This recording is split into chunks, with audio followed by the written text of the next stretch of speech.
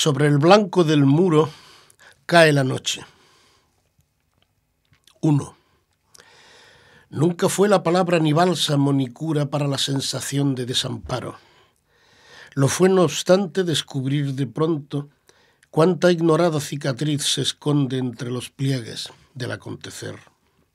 Semanas, meses, años vistos ahora bajo nueva luz, ya sin excusas ni misericordia, un cúmulo de tiempos y de territorios que siempre creí fáciles de conquistar. ¿Me escuchas? Veo cuerpos y rostros que a nada remiten. Aunque aparenten coincidir con alguien, tú o yo, son simples fantasmagorías. Fuimos quizá tan solo caminantes merodeando en círculo.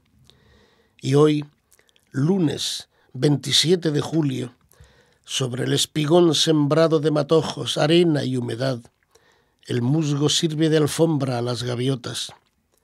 Vienen y van, se alejan y de nuevo vuelven a mí. ¿Persiguen viejos fantasmas del pasado? No.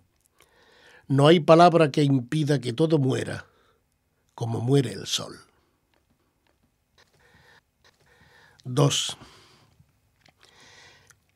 Con qué ignorancia de lo que sucede abre a la luz su puerta el nuevo día. Se despereza el cielo y en el horizonte manchas dispersas de algodón dibujan velámenes de sombra sobre el mar en calma. Los sueños de la víspera se disolvieron y no queda rastro. ¿Cómo añorar lo que no existe ni existió nunca salvo en los escombros donde hizo nido la memoria? Caronte aguarda en el embarcadero la hora propicia de partir. Las aguas en penumbra borran los fastos de la primavera. Algo me dice, sin embargo, cuánto añoro el azul en que crecí. No olvido que es el color de la intemperie y oigo un canto de pardelas. El rumor de las hojas se funde con el viento, silbando entre los bojes del jardín. 3. Regreso de un hogar que nunca tuve y envuelto por la brisa de esta noche del mes de un julio ardiente, atrás quedó el improbable invierno de la juventud me he sentado en la arena, frente a un mar de luminosa espuma, cuyas aguas tranquilas me devuelven imágenes de la niñez, sueños comunes que ya no podremos ni acometer ni compartir. ¿No sientes la insoportable levedad, el peso de esa otra sombra donde halló refugio un malestar de estrellas ignoradas?